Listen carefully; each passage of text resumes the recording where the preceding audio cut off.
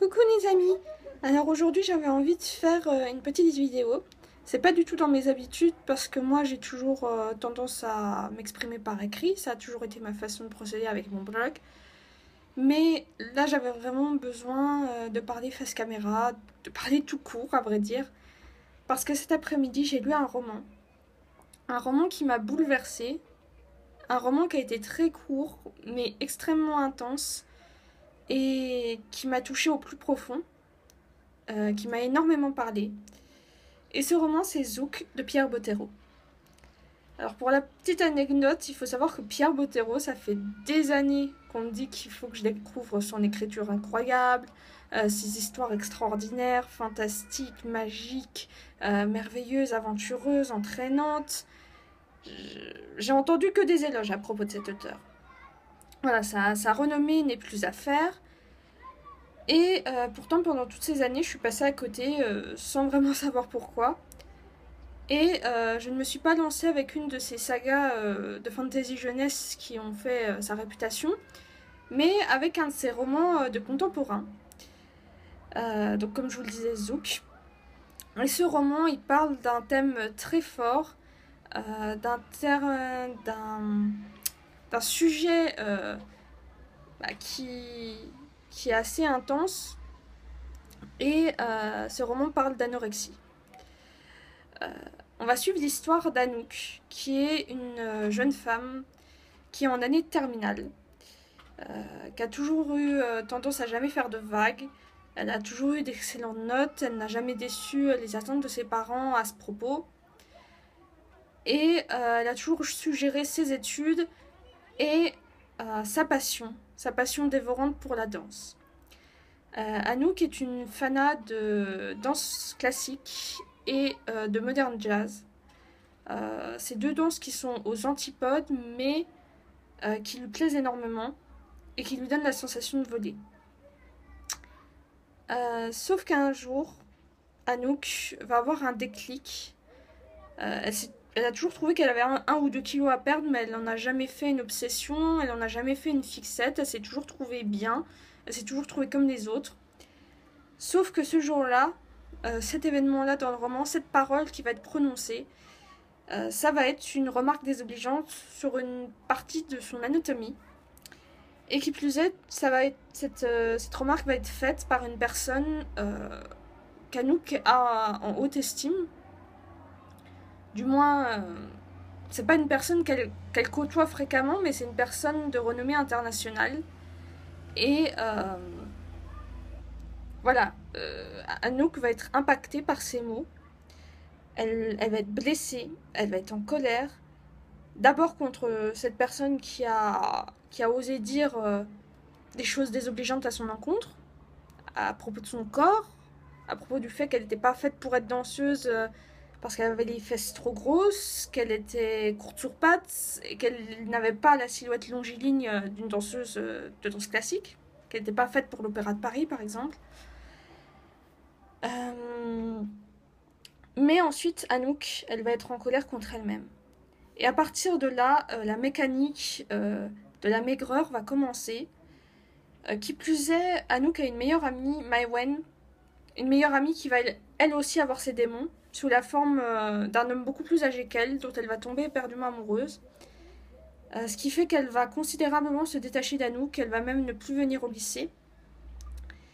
Et euh, les deux meilleures amies vont rester éloignées un bon bout de temps, tant dans la distance, enfin physiquement que mentalement.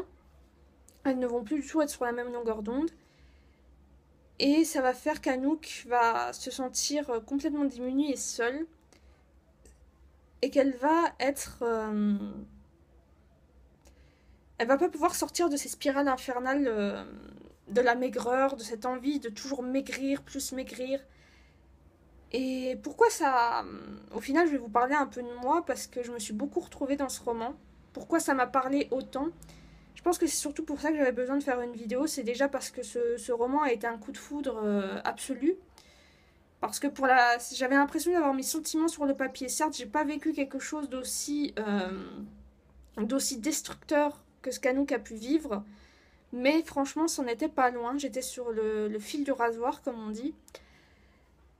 Et du coup, de, lire ce roman, qui est certes très court, mais qui, frappe juste, qui frappe fort, qui a la, force d'un coup de poing, j'avais l'impression à certains moments que c'était moi qui, qui avait écrit mes sentiments, qui les avait couchés sur le papier, parce qu'à l'époque, il y a quelques années de ça, c'était il y a 4-5 ans déjà, je n'osais pas du tout en parler de ce qui me rongeait.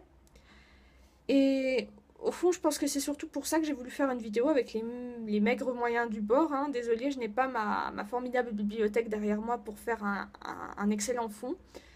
Vu que je suis en vacances et que je suis sur euh, la chaise longue de notre studio. Donc on fait avec ce qu'on a. Mais voilà, je ne pouvais pas attendre de rentrer à la maison. Il, fallait que j'en parle, il fallait que ça explose et, que je m'exprime là-dessus parce que c'est seulement aujourd'hui et c'est en lisant ce roman que je m'en suis rendu compte en fait c'est seulement aujourd'hui que je suis enfin heureuse d'être moi-même, que, je, m'aime pleinement, ce qui n'a pas été le cas pendant de nombreuses années. Et il y a toujours des, petits, petites sensations de remords, de plus être mince, de se dire, euh, bah, si tu avais été dans l'état euh, d'esprit dans lequel tu es aujourd'hui, euh, et que tu serais resté mince, et que tu aurais été conforme à ton idéal et à ces normes de la société, ça aurait été beaucoup mieux pour toi. Il y a toujours cette petite sensation de remords, mais au fond, je sais qu'aujourd'hui, je, m'accepte pleinement. J'ai plus honte de ce que je suis euh, physiquement. Et c'est en lisant ce roman, et ça, ça vraiment, je, remercie ce roman, c'est en lisant ce roman que je m'en suis rendu compte parce que justement, je n'éprouvais plus du tout les mêmes sentiments euh, éprouve lorsqu'elle euh, lorsqu'elle euh, elle s'effondre en fait. parce qu'il y a 4 ans, donc du coup, je me rends compte que l'histoire l'histoire entre Anouk et moi, elle est très liée, même si euh, elle, ça a été un déclic par rapport au monde très dur de la danse, où il y a beaucoup euh, de jeunes filles qui succombent à l'anorexie, comme dans le milieu du mannequinat, par exemple. Euh, voilà, c'est, des milieux, c'est pas beau ce que je veux dire, enfin, c'est des milieux prédestinés à, à ce qu'on, qu'on tombe dans l'anorexie, en fait, parce que c'est c'est des domaines où on attend de vous une, silhouette longiligne, une silhouette parfaite, euh, pas de bourrelet, pas de... Ah, je cherche le mot. Bon, euh, vous l'aurez compris. Euh, pas de cellulite, voilà, c'est le mot que je cherchais.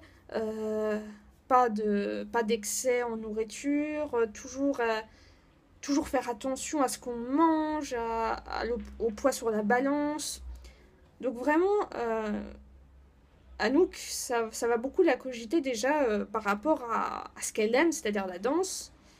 Euh, mais euh, voilà, je veux dire, une personne peut être malade, peut être atteinte d'anorexie, même en étant une personne lambda comme moi, vous voyez. Mais pourtant, Anouk et moi, on a énormément de points communs. Et vraiment, quand j'ai lu ce roman, j'ai eu l'impression que je retrouvais la moi de 16 ans, c'est-à-dire la moi euh, bah, qui commençait à descendre euh, légèrement, mais sûrement quand même vers l'anorexie. Et euh, je me souviens qu'à l'époque, pour vous raconter un peu mon background, on va remonter des années en arrière, encore plus. depuis le divorce de mes parents, j'avais commencé à, grossir. Bon, déjà avant, j'avais pas une. Quand j'étais enfant, j'avais pas une silhouette hyper fine non plus peut-être à 3-4 ans, mais à partir de 5-6 ans, ça commençait déjà, je commençais déjà à, être différente des autres euh, au niveau de la courbe de mon poids. Et euh, le divorce de mes parents, même si je l'ai plutôt bien accepté, euh, je me sentais très seule. J'étais une enfant très solitaire volontairement, et puis ensuite je me suis rendu compte que c'était quand même pas normal. Et bref, il y a une succession de, petites choses comme ça qui ont fait que, à l'âge de 13-14 ans, j'avais atteint pas l'obésité, pas, pas, à ce point-là, mais euh, un surpoids assez important.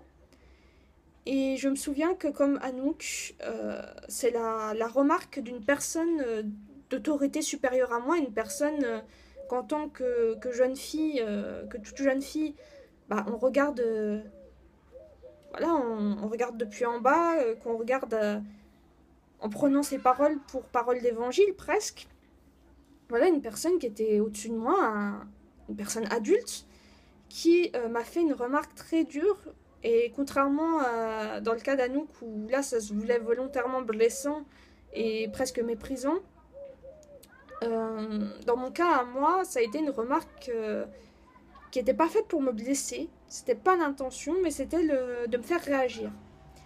Et effectivement, ce jour-là, j'ai eu le déclic de me dire il, faut, il faut que ça change.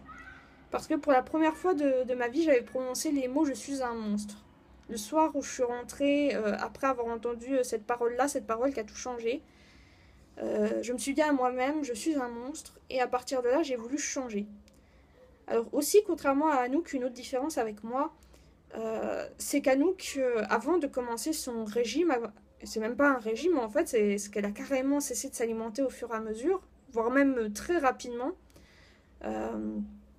Anouk, elle n'avait pas besoin de maigrir. Euh, elle avait peut-être besoin de perdre un ou deux kilos, mais c'était une fille qui avait une IMC tout à fait normale, euh, qui n'était pas en surpoids par rapport à ses amis ou même par rapport aux autres, euh, à ses autres camarades de classe. C'était une personne de corpulence tout à fait normale.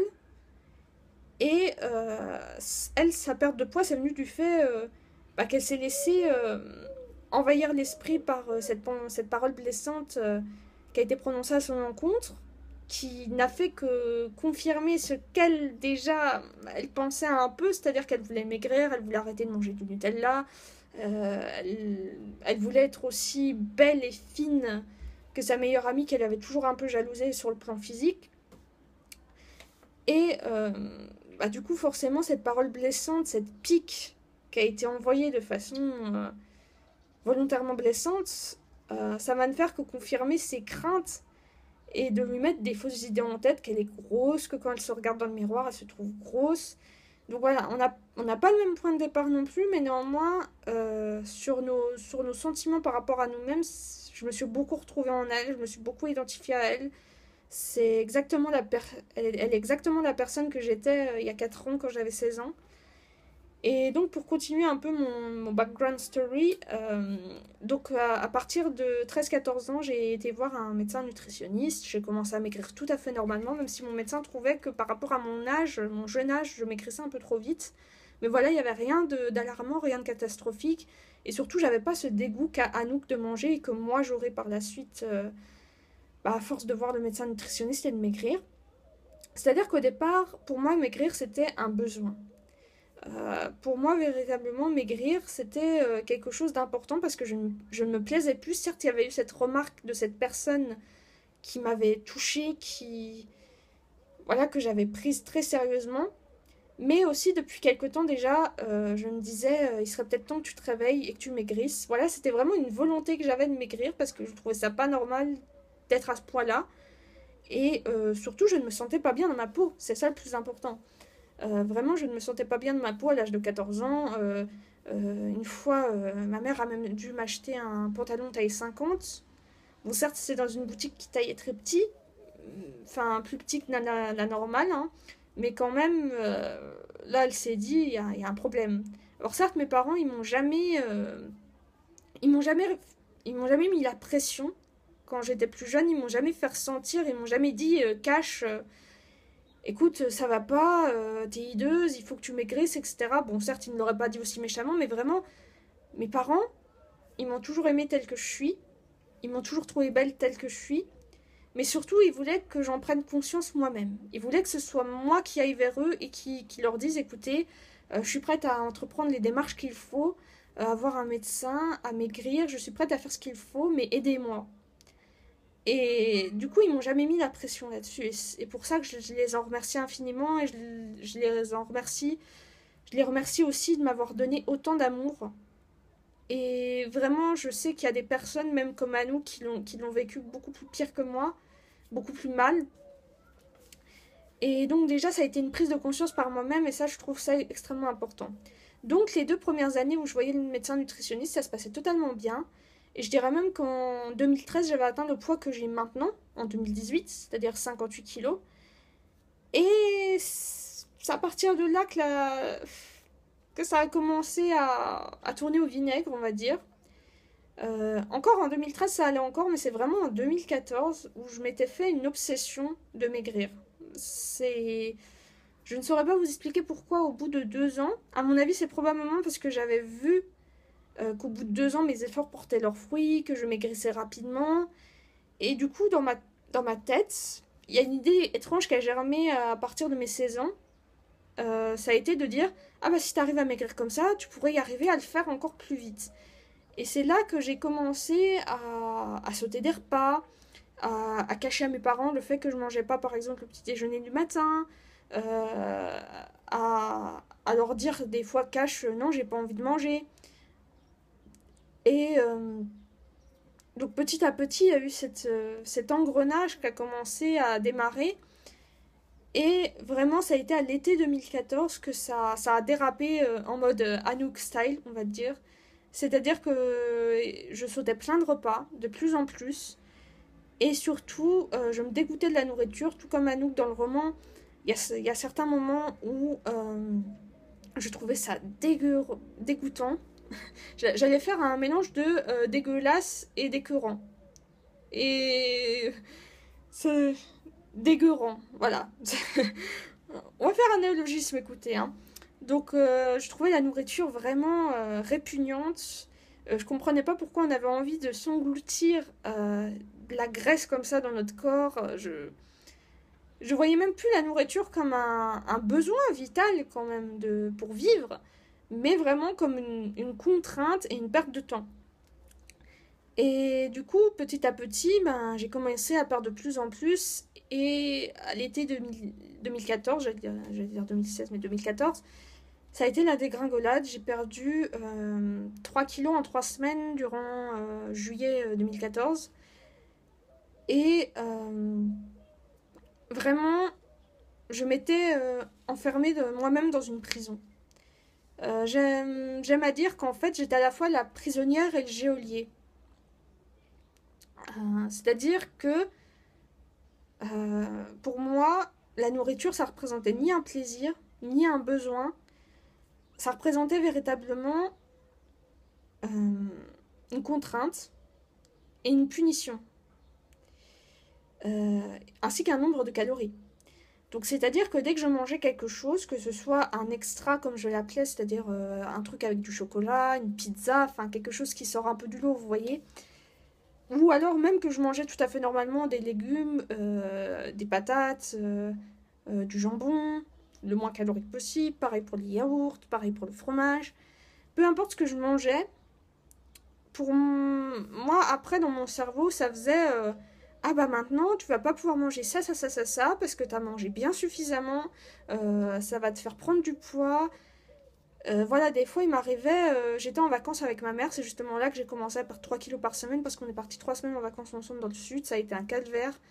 Parce que clairement, même le jour de mon anniversaire, j'ai pas voulu aller au restaurant parce que ça m'aurait fait grossir. D'ailleurs, ça faisait plusieurs mois où je n'allais plus chez mes copines euh, parce que je me disais, bah elles, elles vont manger euh, des marshmallows, euh, elles vont manger des, des choses qu'elles préparaient elles-mêmes, parce que mes, mes, copines aimaient beaucoup cuisiner, elles vont manger des choses qu'elles ont préparées elles-mêmes, c'était des pancakes avec du Nutella, des choses comme ça.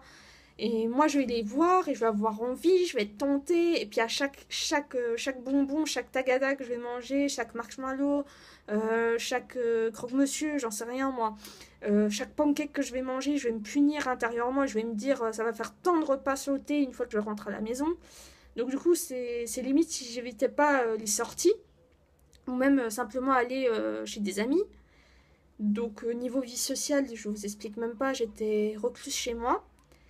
Et donc durant ces trois semaines avec ma mère, je me privais totalement. Si par exemple j'allais manger une gaufre sur la plage, eh ben je mangeais plus de la journée. C'était un véritable calvaire. Et c'est pour ça que quand j'ai lu le récit d'Anouk, euh, ce récit où elle cherchait toujours à perdre plus, ou même si elle était devenue euh, pas squelettique mais très maigre, eh ben, elle avait la sensation d'être grosse dans le miroir. C'est une sensation que j'ai éprouvée aussi. J'étais folle de rage parce qu'en fait, j'avais l'impression que j'avais atteint un objectif, que j'étais censée atteindre un idéal de beauté que je recherchais depuis des années, c'est-à-dire que j'ai jamais été maigre avant. Peut-être quand, j'étais toute petite, comme je vous l'ai dit, j'étais mince. Mais euh, par la suite, euh, dès ma plus jeune enfance, ça n'a jamais été le cas. Donc c'est ce dont je rêvais, d'être mince comme les autres, d'être élancée comme les autres. Et j'avais beau avoir atteint cet objectif-là, je ne le ressentais pas du tout. Dans dans le miroir, je ne le voyais pas. Je ne le ressentais pas. Et du coup, lorsque j'ai lu euh, le récit euh, d'Anouk dans Zouk, le récit que Pierre Bottero fait de cette maladie de l'anorexie, ça, ça a fait écho en moi et j'ai eu l'association de revivre exactement euh, la noirceur d'esprit que j'avais il y a 4 ans. Cette noirceur d'esprit où j'étais devenue taciturne, où même mon père disait au médecin nutritionniste que je n'étais plus sa petite fille, j'étais plus la même qu'avant, que je, ne souriais même plus, que, que je n'avais plus cette nature joyeuse. Et ce qui m'a vraiment euh, marqué à l'époque, c'est quand j'y repense maintenant, c'est qu'il disait même au nutritionniste, euh, si j'avais su qu'on en arriverait là, euh, je préférerais même qu'on retourne en arrière à l'époque où elle était en surpoids, parce qu'au moins elle était heureuse, elle était le rayon de soleil de son entourage, elle était notre rayon de soleil, elle était, elle était toujours heureuse, toujours joviale, et aujourd'hui elle s'est ternie et elle s'est éteinte. Et vraiment, c'est des mots qu'à l'époque, je sais pas que je les méprisais, ces mots-là, mais j'étais comme Anouk. J'étais exactement comme Anouk lorsque ses parents, euh, ses parents qui d'abord sont très axés sur ses études, sont très axés sur ses résultats scolaires, et puis qui vont, ses parents qui vont se rendre compte que quelque chose ne va pas, qui vont essayer de forcer, de forcer, d'en parler. Et au début, Anouk, elle arrive à, elle arrive à éviter de, parler de ça, mais euh, ensuite, elle va pas pouvoir se défiler. Et ses parents, j'ai eu l'impression que c'était les miroirs des miens en fait. Euh, c'est-à-dire que vraiment, ils vont essayer de la comprendre, ils vont essayer de retrouver leur petite fille, ils vont essayer de la rendre heureuse à nouveau et de la sortir de cette spirale infernale. Et c'est exactement ce que mes parents ont essayé de faire et ont réussi à faire il y a 4 ans. Et à l'époque, quand ils prononçaient ces paroles-là, ces paroles qui ressemblent tellement à ce que les parents d'Anouk auraient pu dire euh, dans, dans le roman, à peu de choses près, et ben à l'époque, j'étais exactement comme où je réagissais en mode euh, mais c'est ma vie, c'est moi que ça regarde, euh, qu'est-ce qu'ils ont à émettre des jugements comme ça? Alors qu'en fait, ils voulaient juste prendre soin de moi. Bérénice, la prof d'Anouk, ses parents, ses, ses, professeurs, ils essayaient tous de l'aider, d'essayer de comprendre ce qui se passe, elle est entrée dans un stade où elle ne cesse de maigrir et où elle se désintéresse même de, sa passion de la danse, où elle, n'éprouve plus cette, euh, cette joie à l'idée de danser, où, euh, où elle, s'effondre à tout instant, où elle est atteinte d'aménorrhée, comme ça a été le cas pour moi, euh, où elle en perd toutes ses forces, ce qui a été le cas pour moi aussi. des fois, j'avais même du mal à marcher tellement j'avais mal au niveau des hanches parce que je sentais les os saillir en fait. Je sentais les, les, os de mes côtes et de mes hanches saillir et mes jambes, elles étaient très maigres. Ça a été le premier endroit qui a maigri. Et c'est l'endroit qui a maigri le plus euh, durant tout, euh, tout ce temps où j'avais mon, régime nutritionnel. Et euh, mes jambes, des fois, avaient du mal à me porter. Et c'est le cas d'Anouk aussi dans, l'histoire, où elle n'arrive même plus à danser, ne serait-ce que quelques minutes, sans qu'elle fasse des vertiges et qu'elle ne s'effondre. Et, en lisant ce roman, je me rends compte que je suis plus du tout sur cette même longueur d'onde, que je suis guérie. Ça fait, bah, ça fait longtemps que je suis guérie, mais là, je me rends pleinement compte euh, que non seulement euh, j'ai vécu ça, que j'ai réussi à en, en sortir, et j'ai l'impression que tous les regrets que je pouvais avoir par rapport à cette époque, par rapport à cette minceur dont je n'ai pas su jouir, en fait, de cette minceur dont je rêvais depuis plus longtemps que, le début de mon régime, je pense. Euh, que cette minceur dont je rêvais, bah, c'était pas, c'était pas ce qui me rendait heureuse moi.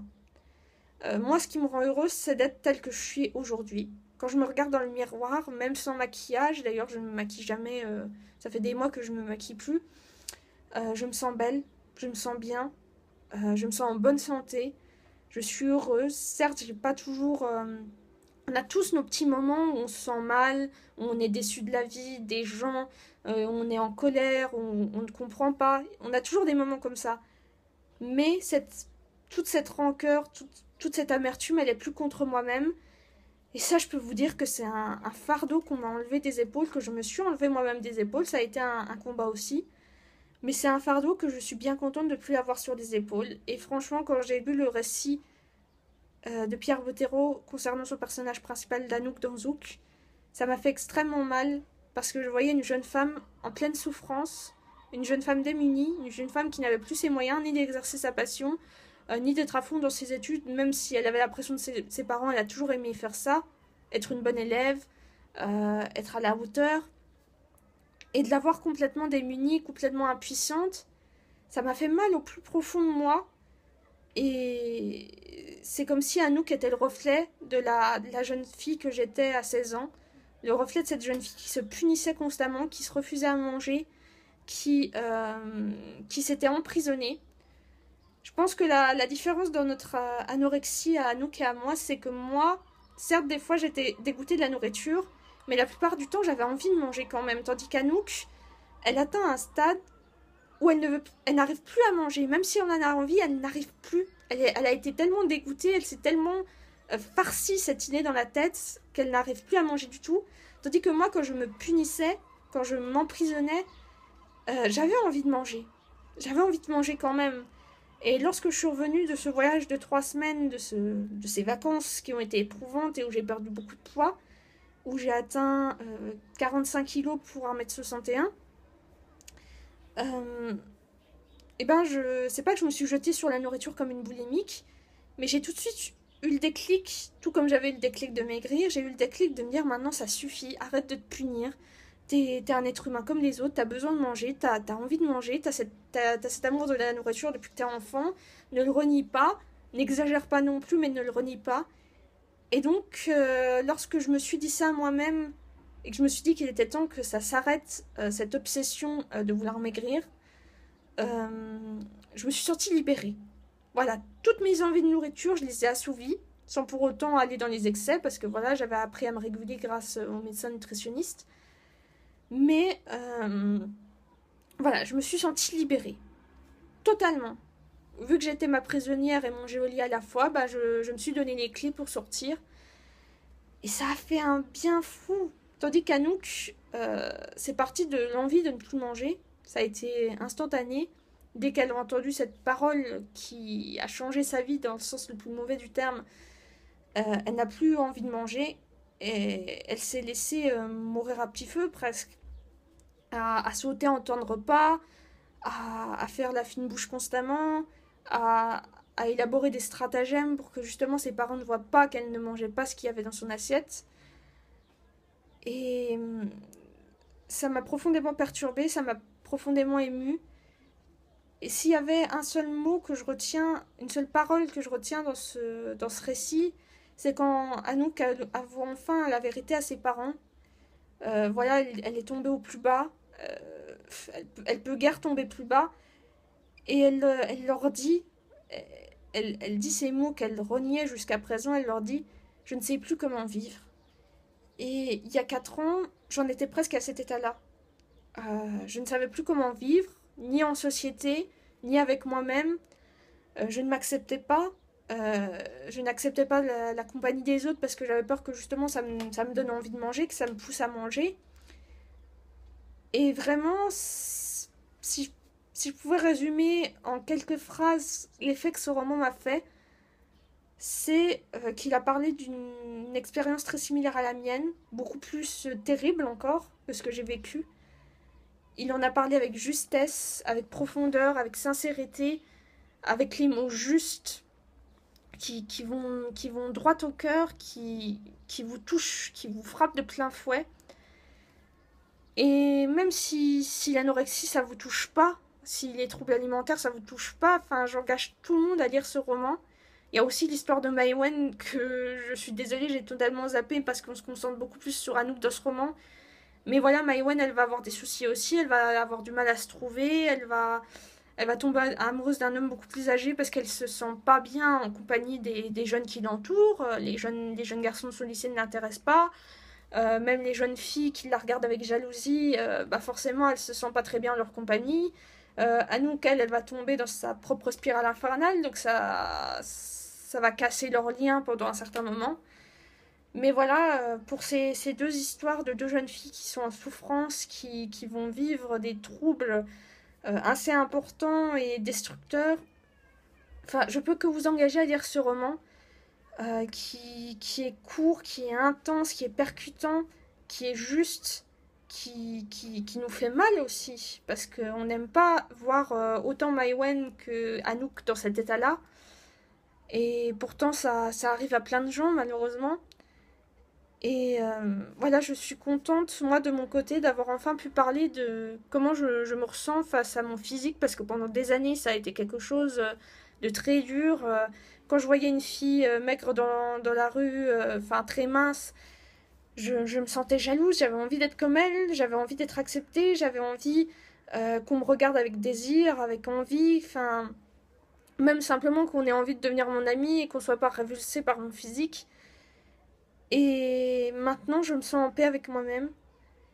Et je, souhaite à toutes les Anouk du monde et à toutes les personnes qui peuvent éprouver des troubles mentaux, des troubles psychiques, qui peuvent trouver un, un, mal-être, qui, qui, peuvent vivre euh, la dépression comme va le vivre Maïwen dans le, dans le roman, à toutes ces personnes-là, à toutes les personnes du monde entier, n'importe qui, euh, je leur souhaite bah, de trouver cette paix intérieure parce que ça, ça vous libère. Purement et simplement, c'est tout ce que je peux dire, ça vous libère. Donc voilà, je m'excuse pour la longueur de cette vidéo. je me suis livré à chaud sur euh, ce roman qui a été un coup de foudre euh, foudroyant, c'est le cas de le dire. Et pour cette première lecture d'un Pierre Bottero, je suis extrêmement satisfaite. Et je vais même dire mieux, je suis extrêmement satisfaite de mes soins, parce que ça m'a permis de me pardonner à moi-même euh, de m'avoir fait du mal ainsi il y a 4 ans, en me privant de manger, en me privant de beaucoup de plaisir, en me privant de mes amis juste parce que j'avais peur de manger, en me privant du contact des autres aussi, et de plein de belles choses que j'aurais pu vivre, au lieu de rester toute seule chez moi.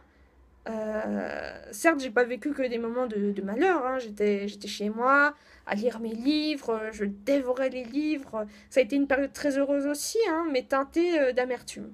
Voilà, c'est tout ce que je peux dire, et, et ces regrets sont derrière moi maintenant. Et voilà, je suis très contente d'avoir pu en parler en vidéo. M'arrêter maintenant parce que sinon, euh, on va jamais, on va jamais s'arrêter en fait. Donc voilà, je suis contente d'avoir pu vous en parler. N'hésitez pas, euh, vous aussi, à me parler de, bah, de vos problèmes. Euh, pas forcément de troubles alimentaires, hein, mais d'autres choses à partager avec moi. C'est la discussion, c'est très important. C'est quelque chose qui me tient très à cœur. Et je vous retrouve très vite sur le blog et je vous ferai plein de gros bisous.